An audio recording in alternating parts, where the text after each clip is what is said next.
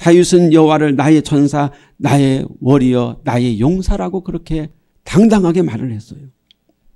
만일 누구든지 여호와를 나의 전사로 나의 용사로 삼는다는 백전백승, 백번 싸우면 백번 다 이깁니다. 우리가 손자병법에서 백전백승이라는 말을 씁니다. 그런데 원래는 손자병법에는 백전백승이 없어요. 백전불태라는 말이 있습니다. 즉 100번 싸워서 100번 위험하지 않다. 그런 뜻입니다. 그런데 만약에 우리가 다윗처럼 여호와를 나의 전사, 나의 용사로 삼는다면 우리는 100번 싸우면 100번 승리하게 되는 줄로 믿습니다. 여호와가 나의 용사가 된다면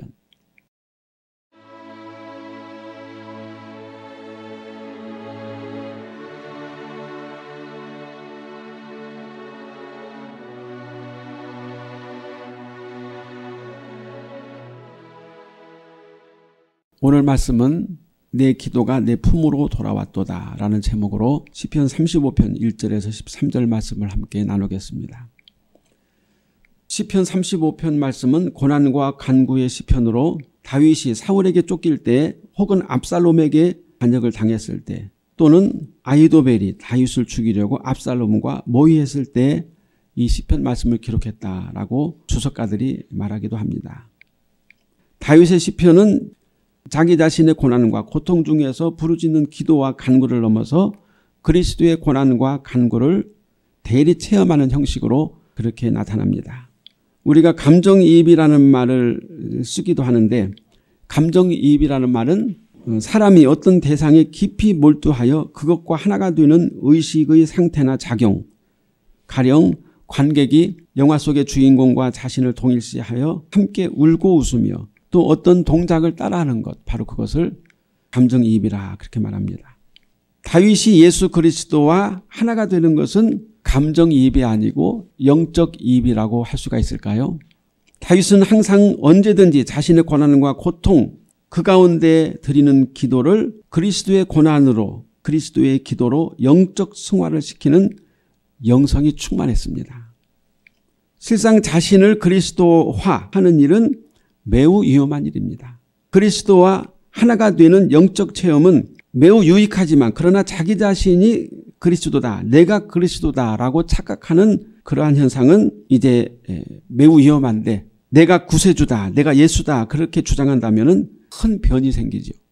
이런 경우를 과대망상적 이단이다 그렇게 할 수가 있어요. 이단들은 자기가 마치 예수인 것처럼 자기가 구세주인 것처럼 과대망상에 걸려서 많은 사람들에게 구원해 주겠다고 그렇게 주장을 합니다.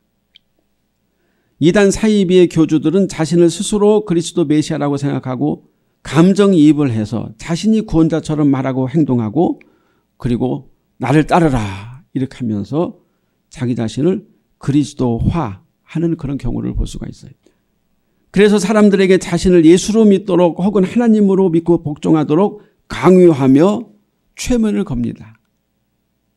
교주는 말도 안 되는 헌금이나 헌납을 신도들에게 요구하는데 신도들은 그 말도 안 되는 강요에 못 이겨서 자신들이 가진 재산을 다 내놓습니다. 우리가 이단들과 그 이단 교주를 따르는 교도들을 보면은 이해가 안 되는 부분들이 많아요. 어떻게 저런 사람의 말을 듣고 저렇게 충성하며 자기가 버는 돈과 재능을 다 갖다 바치면서 저 사람의 종노릇을 할까. 그런데 그렇게 될 수 있다 그 말이죠. 그 이유는 교주에게 거에게 헌금을 하는 것을 마치 하나님에게 한다는 강한 착각, 강한 최면을 심어주면 됩니다. 내가 어떤 교주에게 거에게 헌금을 하고 재산을 바치는 것은 하나님에게 다 바치는 것이다. 이런 최면술에 걸리면 능히 할 수가 있어요. 특히 기성교회 상대 대형교회에서는 많은 헌금을 교인들에게 거둬들이죠. 어떻게 그 많은 헌금을 교인들에게서 끌어낼 수 있는가 하면 교회에 헌금하는 것은 하나님에게 헌금하는 것과 같다는 영적 이입, 감정 이입을 심어주면 되는 거예요. 여러분들이 우리 교회를 위해서 헌금하는 것은 다 하나님이 받으십니다. 지금도 하나님이 여러분의 드리는 헌금을 향기로운 제물로 받으시고 하늘나라에서 상급을 준비하십니다. 믿습니까? 할렐루야. 그러면서 감정이입, 영적 이입을 시키고 최면을 걸면은 거기 있는 회중들이 아멘 할렐루야 그러면서 정말 자기가 하나님에게 모든 것을 바치는 것처럼 착각을 한다 그 말이에요.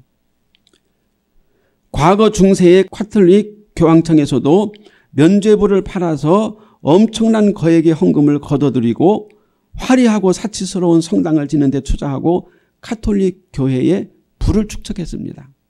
그것은 교도들이 헌금을 많이 하면 할수록 죄 사함을 많이 받을 수 있다라는 그런 강한 환상, 그런 착각을 가지도록 하기 때문에 그래서 그렇게 헌금을 하는 거예요. 그래서 세속교회 교인들도 자신이 드린 헌금을 목사가 받는 것이 아니라 하나님이 받으신다고 굳게 있는 것입니다. 그런데 실상 그들이 교회에 바친 헌금을 하나님이 받으실까요? 받으셔서 하나님이 다 사용하십니까? 그 쓰임을 보면 하나님이 받으시는 것이 아니라 교주나 혹은 대형교회 목사가 받는다는 사실을 금방 알 수가 있어요. 왜냐하면 하나님이 원하시는 방향이 아닌 교세를 늘리기 위해서 대형 건물을 짓거나 또 많은 땅을 사거나 교회 재산을 늘리는데 그 헌금을 사용하게 됩니다. 물론 구제나 선교, 이웃을 돕는 일에 사용하기도 하지요. 그러나 상당 부분을 이 세상의 땅이나 건물을 사고 세우는 데 사용하고 있고 외적 건물을 세우거나 교회 부지를 늘리기 위해서 엄청난 빚을 지고 있어요. 그리고 그 빚을 교인들의 헌금으로 다 이자를 내고 또 그 빚을 갚아나가고 있는 것이죠. 다윗이 그리스도와 영적 동화를 하는 데 있어서 자신이 내가 그리스도요 메시아가 아니라는 반증은 다윗이 자신을 위해서 자기 이름으로 재물을 땅에 쌓아놓지 않았기 때문입니다. 하나님께서 다윗이 그렇게 원했던 예루살렘 성전을 짓도록 허락하시지 않은 것은 하나님의 은혜요. 하나님의 뜻이었어요. 물론 표면적으로는 다윗이 전쟁을 많이 해서 피를 많이 흘린 용사이기 때문에 하나님이 성전 짓는 것을 허락하지 않았다고 그렇게 말씀에 나와 있지만 실상은 하나님께서 이 땅에 다윗이 자기의 이름으로 재물이나 재산을 남기지 않도록 하셨다는데 중요한 포인트가 있습니다. 우리가 예루살렘 성전, 예루살렘 성전을 다윗의 성전이라고 말하지 않아요. 솔로몬 성전이라고 말합니다. 하나님께서 다윗이 직접 예루살렘 성전을 짓지 못하게 하신 것은 다윗에 대한 하나님의 배려요, 하나님의 은총이었습니다. 하나님께서 다윗에게 육신적인 성전을 주지 않으신 것은 그 다윗을 통해서 다윗의 혈통을 통해서 그리스도의 몸인 영적 성전을 세우기 위해서 하나님께서 예루살렘 땅에 있는 예루살렘 성전을 허락하시지 않았다는 거예요. 예수 그리스도는 다윗의 위를 따라 혈통을 따라서 이 세상에 육신으로 오셔서 하나님의 거룩한 공동체 그리스도의 몸인 교회를 세우신 것입니다. 그러므로 다윗이 세운 영적 성전은 곧 예수 그리스도였던 것입니다. 우리가 생각하기에는 다윗이 예루살렘 성전을 짓는 것이 하나님의 복이라고 생각합니다. 물론 저도 과거에 그런 생각했었고 또 인간이기 때문에 많은 목사님들이 그런 생각을 해요. 내가 이 땅에서 교회 성전을 크고 멋있고 화려하고 아름답게 짓는 것이 평생 소원이다. 내가 교회를 멋있고 화려하게 잘 짓고 하나님 앞에 간다면 원이 없겠다. 이런 생각을 합니다. 사람이기 때문에 그런 생각을 할 수가 있어요. 그래서 다윗도 그런 마음으로 내가 이스라엘의 이스라엘 수도인 예루살렘에 하나님의 성전을 지어드리는 것이 소원입니다. 그렇게 말을 했어요. 그런데 하나님께서 다윗이 예루살렘 성전 짓는 것을 금하셨죠. 만약에 다윗이 예루살렘 성전을 지었다면 지금 우리가 존경하고 따르는 믿음의 용장 다윗이 아니라 솔로몬처럼 추락하고 타락한 우상 숭배자 왕 다윗이 되었을 것입니다. 다윗이 믿음의 용장이 된 것은 예루살렘 성전의 참 의미인 그리스도를 알고 오직 그리스도만을 사모했기 때문에 그래요. 하나님은 다윗의 이름으로 하늘에 속한 거룩한 그리스도의 몸된 교회를 세우셨고 솔로몬의 이름으로 솔로몬의 이름으로 땅에 있는 예루살렘 성전을 세우도록 하셨는데 솔로몬 성전은 우상숭배와 배교, 탐욕으로 타락하여 지금은 어떻게 됐습니까? 이슬람 교도들이 사용하는 모스크 성전이 되어버렸어요. 영원한 재판관이신 여호와 앞에서 여호와여 나와 다투는 자와 다투시고 나와 싸우는 자와 싸우소서 이렇게 다윗이 고백하고 있습니다. 여기서 다투다라는 말은 씨름하다, 꾸짖다, 변호하다 그런 뜻이 있어요. 시편 기자는 여호와의 법정에서 탄원하고 있습니다. 여호와여 나를 위해 싸우시고 꾸짖으시고 변호하소서. 여호와의 법정에서 다윗은 자신을 변호하시고 자신을 위해서 싸워달라고 여호와 앞에 부르짖고 있습니다. 다윗은 일방적으로 여호와 하나님이 자기 편을 들어줘야 한다고 때를 쓰는 것과 같아요. 하나님이 전적으로 다윗의 편을 들어줄 만큼 다윗이 그렇게 완벽한 사람이었는가요? 다윗은 창과 방패를 가지고 자신의 적을 막아달라고 하나님에게 청원을 했습니다. 원수와의 전쟁에서 다윗은 여호와를 뭐라고 말했냐면 나의 전사라고 말했어요. 나의 전사로 여호와를 고용합니다. 그렇게 청원했어요. 감히 누가 여호와를 자신의 전사, 자신의 용사, 자신의 워리어로 부려먹을 수가 있겠습니까? 다윗은 여호와를 나의 전사, 나의 워리어, 나의 용사라고 그렇게 당당하게 말을 했어요. 만일 누구든지 여호와를 나의 전사로 나의 용사로 삼는다는 백전백승, 백번 싸우면 백번 다 이깁니다. 우리가 손자병법에서 백전백승이라는 말을 씁니다. 그런데 원래는 손자병법에는 백전백승이 없어요. 백전불태라는 말이 있습니다. 즉 100번 싸워서 100번 위험하지 않다. 그런 뜻입니다. 그런데 만약에 우리가 다윗처럼 여호와를 나의 전사, 나의 용사로 삼는다면 우리는 100번 싸우면 100번 승리하게 되는 줄로 믿습니다. 여호와가 나의 용사가 된다면 그들을 바람 앞에 겨와 같게 하시고 여호와의 천사가 그들을 몰아내게 하소서 그들의 길을 어둡고 미끄럽게 하시며 여호와의 천사가 그들을 뒤쫓게 하소서 마치 명령하는 것과 같지요. 다윗이 여호와를 향해서 하소서 하라고 명령하는 것 같습니다. 다윗이 여호와를 자신의 전사로 삼을 근거는 아래와 같다고 말하고 있습니다. 그들이 까닭없이 나를 잡으려고 그들의 그물을 웅덩이에 숨기며 까닭없이 내 생명을 해하려고 함정을 파싸오니 시편 35편 7절에서 말씀하고 있어요. 여기서 까닭없이 다윗은 까닭없이 그들이 나를 잡으려고 하고 나를 죽이려고 합니다. 이렇게 말하고 있습니다. 여기서 까닭없이라고 하는 말은 원인 없이 아무 이유 없이 그런 뜻도 있지만 은혜 밖에 나다. 은혜 밖에 나서 그런 뜻입니다. 은혜 밖에 있으면서 이런 뜻이에요. 은혜 밖에 나다는 뜻은 다시 말하면은 우리가 누구 눈 밖에 나다 그런 말 하죠. 저 사람은 누구 눈 밖에 나서 저렇게 미움을 받는 거야. 그런 말 하죠. 마찬가지로 하나님의 눈 밖에 나서 하나님의 미움을 사는 그러한 사람들이 나를 까닭 없이 나를 잡으려고 나를 죽이려고 합니다. 그렇게 이제 다윗이 말하는 것입니다. 은혜 밖에 나다. 하나님의 눈 밖에 나다는 것은 하나님의 사랑과 총애를 받지 못한다는 뜻입니다. 그들이 은혜 밖에 나서 하나님의 눈 밖에 나서 나를 잡아 죽이려고 합니다. 그러니 하나님이 나를 도와주시고 하나님이 나의 전사가 되셔야 됩니다. 이렇게 막 호소를 하는 것이죠. 원수들이 다윗을 모함하고 생명을 해려고 하는 것은 하나님의 사랑과 총애 밖에 났다. 즉 하나님의 눈 밖에 났기 때문이라고 그렇게 다윗이 고백하고 있는 것입니다. 하나님의 은혜 밖에 난 사람, 하나님의 눈 밖에 난 자는 뭘 하겠습니까? 악을 행하고 그리스도를 대적하고 하나님을 향해서 모욕하며 하나님을 대적하게 됩니다. 왜 다윗의 원수들은 하나님의 은혜 밖에 났을까요? 그들이 하나님의 은혜를 거부했기 때문에 하나님은 우리가 그저 죄를 짓고 악을 행한다고 해서 내가 너를 심판하노라 그러지 않습니다. 하나님이 은혜를 베푸셔요. 내가 너의 죄를 용서해 주고 내가 너의 악을 다시 써주겠다. 나에게 와라. 은혜를 베푸시는데 그 은혜를 거부한 자 하나님의 그 후하신 은혜 하나님이 할력 없는 은혜를 거부한 자가 결국은 하나님의 눈밖에 나는 거예요. 노아는 하나님께 은혜를 입었더라라고 창세기 6장 8절에서 말씀하고 있습니다. 그런데 여기서 은혜를 입었다고 하는 말은 하나님의 은혜를 노아가 발견했다. 하나님의 눈에서 노아가 하나님의 은혜를 보았다. 그런 뜻이에요. 하나님의 은혜를 보고 그 은혜를 받기 위해서 하나님 앞에 노아가 나갔다. 그런 뜻입니다. 우리가 죄를 전혀 짓지 않고 악을 전혀 행하지 않아서 의로운 것이 아니고 하나님의 눈앞에서 하나님 앞에서 은혜를 발견하고 그 은혜를 하나님 앞에 구하면서 하나님 앞에 나갈 때 우리가 의로운 자가 되는 줄로 믿습니다. 여기서 하나님의 은혜는 곧 예수 그리스도를 가리키고 있습니다. 예수 그리스도를 믿고 하나님 앞에 나가는 자는 의롭다함을 받게 되는 것입니다.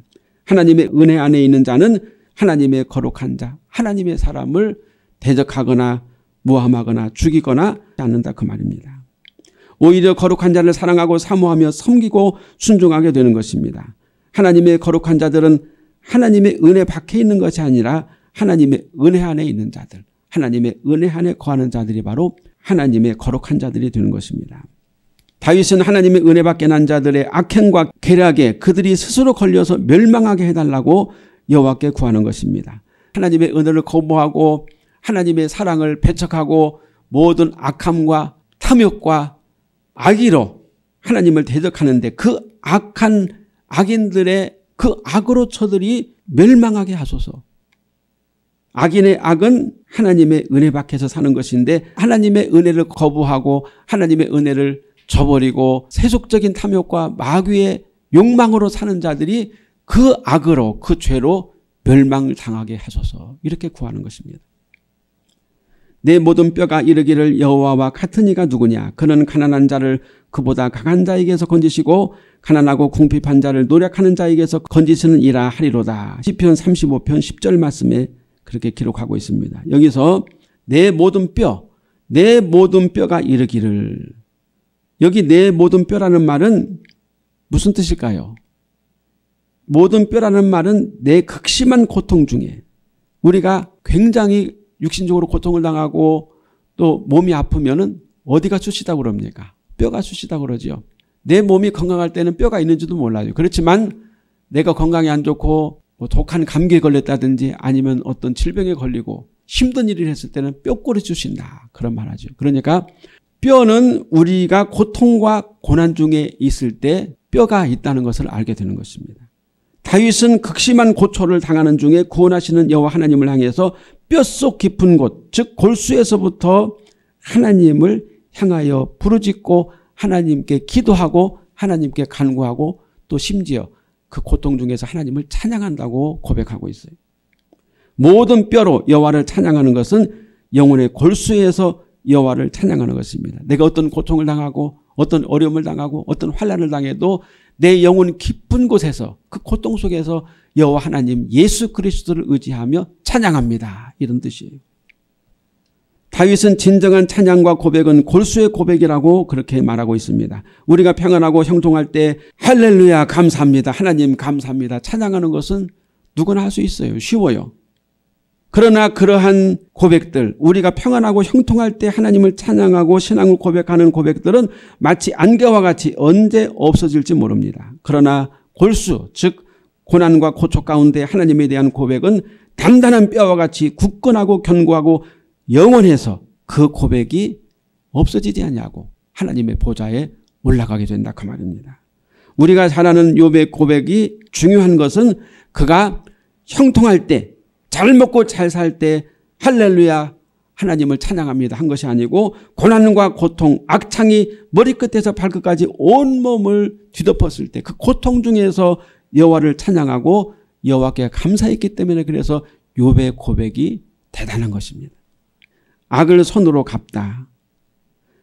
여호와께서 다윗의 전사가 되시고 완전한 재판장이 되시는 것은 다윗이 악을 손으로 갚았기 때문이다. 이렇게 다윗이 고백하고 있어요. 어, 악을 악으로 갚는 자는 그냥 사람입니다. 보통 사람. 선을 악으로 갚는 자는 마귀예요. 그러나 악을 손으로 갚는 자는 하나님의 사람만이 할 수가 있다. 불의한 청인들이 일어나서 다윗을 모함한다고 시편 35편 11절에서 말씀하고 있어요. 여기서 불의한 증인, 이 불의하다는 말은 그냥 나쁘다 그런 뜻이 아니고 잔인하다, 거짓되고 아주 잔인한 사람들, 잔인한 거짓 증인들을 말하고 있습니다. 잔인한 거짓 증인들이 모여서 다윗을 모함한다고 그렇게 말하고 있어요. 다윗은 실제로 이스라엘 백성들을 구하기 위해서 골리앗을 블레셋의 예, 용사인 골리앗을 넘어뜨리고 이스라엘 백성들을 골리앗에 잔악하면서 구원해냈습니다. 그런데 그 당시 왕이었던 사울은 다윗이 이스라엘 백성들 사이에 유명해지고 이름이 나게 되니까 다윗을 죽이려고 악한 마음을 품었어요. 그래서 이 사울 왕은 다윗을 죽이려고 3천 명의 군사를 이끌고 온 들판을 들쑤시면서 쥐잡듯이 다윗을 쫓아다녔습니다. 그때 다윗은 사울 왕을 아둘람 불과 십광야에서 두 번씩이나 어, 죽일 수 있는 기회가 있었지만 하나님의 기름 부음 받은 자이기 때문에 사울왕을 처치하자고 나서는 그의 부하들을 오히려 말렸어요. 아니다. 하나님이 세우신 왕을 어찌 내가 칼로 해야겠느냐. 그만두라고 그렇게 말렸어요. 그러나 오히려 사울은 다윗을 더욱 죽이기 위해서 미친 자처럼 날뛰면서 다윗을 공격하고 다윗을 궁지에 몰아넣게 됐습니다. 다윗은 자신을 괴롭히고 죽이려고 하는 사울에게 악을 손으로 갚았다고 그렇게 말하고 있습니다. 이렇게 다윗이 자기를 죽이고 괴롭히려고 하는 그 원수에 대해서 악을 손으로 설사, 악을 손으로 100배 이상 갚았다 하더라도 이 구절, 이 다윗이 지금 말하는 이 말씀을 다윗에게 다윗에게 적용하는 것은 무리입니다. 왜냐하면 다윗이 당한 고난과 고초보다 더 깊고 근본적인 것을 다윗이 보고 있었기 때문에 다윗은 사울이 나를 이렇게 괴롭히고 나를 힘들게 하는데 내가 사울을 악으로 갚지 않고 선으로 갚았지 않습니까? 그러니까 하나님께서 나를 구원해 주시고 내 편이 되어 주세요. 이렇게 막 외치고 소리치고 그리고 하나님 앞에 강짜를 부리는 것은 합당하지 않다 그 말이에요. 무리수가 된다 그 말입니다. 왜냐하면 다윗이 지금 고난과 고통 속에서 다윗이 자기가 당한 고난과 고통 속에서 보고 있는 것은 자신의 고난과 고통이 아니고 더 깊고 근본적인 고난과 고통인데 그 고난과 고통이 누구의 고통입니까? 예수 그리스도의 극한 고통을 보고 있다고 말입니다. 다윗이 모든 시편들을 통해서 그의 시련을 통해서 보고자 한 것은 자신의 고통과 자신의 환란과 자신의 아픔이 아니라 예수 그리스도 장차 오실 예수 그리스도의 극한 고통과 십자가의 죽음을 보고자 했던 것이다 하는 것입니다. 예수님은 그를 반대하고 죽이려고 했던 자들에게 항상 긍휼과 연민과 안타까움으로 대하셨고 결국 마지막 십자가에서 운명하실 때 저들의 죄를 사하여 달라고 하면서 하나님 앞에 부르짖어 간구하셨습니다. 착한 자들에 대해서 완전한 선을 행하는 자가 우리 주님 그리스도 말고 또 누가 있을까요? 아무리 다윗이 악을 선으로 대하고 다윗이 아무리 온유하고 마음이 넓다 하더라도 우리 구주 예수 그리스도만큼 우리 그리스도 예수님처럼 그렇게 완벽하게 악인에게 긍휼을 베푸시고 악을 선으로 대하시는 분이 누가 있겠느냐 그 말이죠. 단지 다윗은 그리스도를 닮고자 자신을 쳐서 하나님 앞에 복종시키고 또 발부둥 치면서 그리스도를 닮고자 힘을 썼던 사람들 중에 하나일 뿐입니다. 나의 영혼을 외롭게 하나 여기서 외롭게 한다는 말은 히브리어로 쉐콜이라는 말인데 이 쉐콜은 가족을 잃은 아픔 즉 자녀를 잃어버린 슬픔을 말합니다. 여기서 내 영혼이 외롭다는 것은 내가 자식을 잃어버렸습니다. 내 아들을 잃어버린 슬픔의 고통을 당하고 있습니다. 이런 뜻이에요. 원수들의 극악한 악을 지극한 손으로 갚으면서 자녀를 잃어버리는 비통함, 가족을 떠나보내는 슬픔을 품에 안았다는 뜻이에요. 지금 다윗이 시편을 고백하고 있지만 자기 얘기를 하는 게 아니죠. 극악한 악을 지극한 손으로 갚으면서 자녀를 잃어버리는 비통함 속에 깊이 잠겨 있는 그 깊은 슬픔에 잠겨 있는 그분이 누굴까요? 이렇게 극악한 악을 지극한 손으로 갚으시고 아들을 잃어버리시면서 그 깊은 슬픔 속에 아파하시는 그분이 누굴까요? 독생자 예수 그리스도를 버리시면서까지 악한 죄인들을 사랑하시고 은혜를 베푸신 하나님 아버지를 지금 말하고 있는 거예요. 다윗이 영으로 예수 그리스도의 아버지 하나님을 바라보고 있는 것입니다.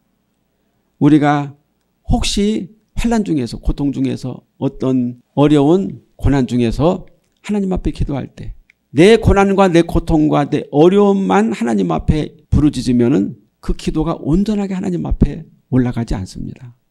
내 억울함과 내 비참함과 나는 지금까지 착하게 살았는데 나는 그래도 정직하게 살았는데 왜 나에게 이런 일이 와야 됩니까? 하면서 부르짖으면 원망만 생깁니다.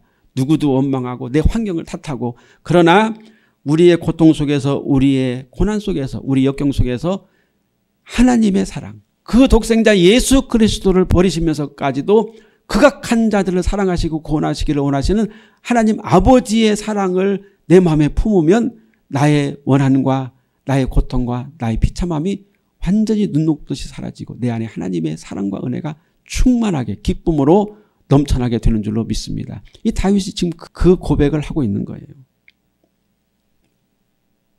우리 주님은 이에 대해서 이렇게 말씀했습니다. 요한복음 15장 13절 말씀에 사람이 친구를 위하여 자기 목숨을 버리면 이보다 더 큰 사랑이 없나니 다윗은 영혼으로 약 천년 후에 아들을 버리신 아버지 하나님의 고통을 알았고 그리스도는 죄된 친구를 위해서 자신의 목숨을 버릴 것을 알고 그분이 이 세상에 오실 것을 깨닫고 자신의 고통을 하나님의 언어로 부르짖고 있는 것입니다. 사도 바울은 이에 대해서 이렇게 고백했습니다. 로마서 5장 6절 말씀 우리가 아직 연약할 때 기약대로 그리스도께서 경건하지 않은 자를 위하여 죽으셨도다. 로마서 5장 8절 말씀 우리가 아직 죄인 되었을 때 그리스도께서 우리를 위하여 죽으심으로 하나님께서 우리에 대한 자기의 사랑을 확증하셨느니라. 바로 이 하나님 아버지의 비통한 사랑, 절절한 사랑을 다윗도 깨달았고 그리고 사도 바울도 고백하고 있습니다. 이 가장 고귀한 사랑은 조건 없는 보상 없는 순수한 희생에서 나온 사랑입니다. 하나님 아버지와 그리스도의 죄인들을 향한 사랑이 아니고 무엇이겠습니까? 내 기도가 내 품으로 돌아왔도다. 나는 그들이 병들었을 때 굵은 배옷을 입으며 금식하여 내 영혼을 괴롭게 하였더니 내 기도가 내 품으로 돌아왔도다. 시편 35편 13절 말씀. 그들이 병들었을 때 병들었을 때라는 말은 상처 입고 고통스러워 죽어가고 있을 때라는 뜻입니다. 누가 상처 입고 고통스럽게 죽어가고 있을까요? 원수들이 다윗을 죽이려고 했던 사울이며 그의 대적들이 전쟁에서 패하여서 죽어가고 고통을 당하고 있다 그 말입니다. 실상 다윗은 자신을 죽이려고 했던 사울을 위해서 기도했고 반역자 비록 아들이지만 압살롬의 죽음을 눈물로 통곡했어요. 다윗은 자기를 해치려고 자기를 죽이려고 했던 사람들을 위해서 하나님 앞에 기도했고 그들에게 은혜를 베풀었고 그들에게 긍휼을 베풀었습니다. 그러나 영적으로 보면 다윗이 말하는 원수는 자기 원수가 아니에요. 하나님을 배반하고 마귀의 말을 듣고 죄악에 빠져 죽어가는 영혼들을 말하고 있어요. 모든 영혼들. 예수님께서는 그 영혼들을 위해서 하나님을 배신하고 하나님을 배반하고 하나님을 거역하면서 마귀의 꼬임에 빠져서 죽어가는 그 영혼들을 위해서 예수님이 자신의 몸을 십자가에 내던지셨던 것입니다. 예수님은 이미 선한 사마리아인에 대한 비유를 통해서 강도를 만나 죽어가는 자를 온전하게 회복될 때까지 치유해주고 온전하게 회복될 때까지 지켜준 그 사마리아 사람에 대해서 말씀하고 있는데 이 선한 사마리아 사람이 바로 나다. 바로 나 예수라고 말씀하시고 또 장차 우리 그리스도인들이 이 사마리아 사람이 되어야 된다고 말씀하고 있습니다. 비록 원수들이 하나님을 대적하고 마귀와 손을 잡았지만 죄 가운데서 비참하게 영원히 상처를 입고 죽어가는 그들을 하나님은 그냥 내버려 둘 수 없었고 그래서 그 악한 죄인들을 위해서 아들을 죽기까지 내어주셨는데 또 그 아들이신 예수님의 기도를 한번 들어보세요. 아들 예수 그리스도의 기도는 자신을 십자가에 못 박은 악한 자들의 원한을 갚아주시고 악한 자들을 다 멀어 주시옵소서 그렇게 기도했습니까? 오히려 아들 예수 그리스도의 기도는 저들이 하는 짓이 무엇인지 잘 모르니 저들의 죄를 용서해 주옵소서 하면서 아버지 하나님 앞에 간절히 눈물로 기도하셨어요. 그리스도의 거룩한 기도를 본받아 우리의 스데반 집사는 자신을 돌로 던져 죽이는 유대인들을 향해서 저들의 죄를 저들에게 돌리지 말라고 그렇게 하늘 보좌에 좌정하신 하나님과 그리스도를 향해서 간절히 기도했습니다. 그리스도의 기도는 복수와 원한의 기도가 아닌 용서와 치유 그리고 화해와 평화 영원한 생명을 위한 기도였던 것입니다.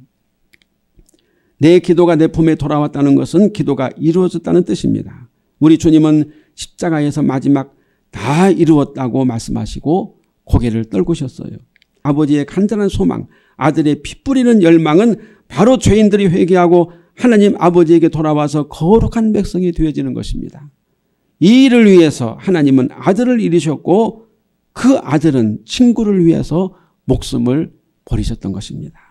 다윗은 자신을 괴롭히는 사울과 대적들을 생각하면서 수없이 하나님 앞에 나의 억울함과 나의 원한을 갚아주옵소서 저 원수들을 멸하여 주옵소서 하면서 막 기도하고 부르짖고 하나님 앞에 끊임없이 청구를 했어요. 그러나 어느 순간 원한과 원망으로 가득 찬 기도 속에 그리스도의 영이 그 마음 속에 들어오시게 되었습니다. 다윗의 깊은 절규 가운데 휘몰아친 그리스도의 영이 저들의 죄를 용서해 달라고 하는 기도로 변하게 만들었다 그 말입니다. 그리스도의 기도가 다윗의 마음에 쏟아부어졌을 때 다윗은 원한의 기도가 아닌 용서와 치유가 담긴 그리스도의 기도를 여호와 앞에 포도주처럼 감람유처럼 부어드릴 수가 있었던 것입니다. 나의 영혼 속에 그리스도의 절절한 기도의 영이 임하여 원수라도 용서하며 원수의 영혼이 죄에서 구원받고 하나님의 거룩한 영광에 이르기를 열망하게 하소서.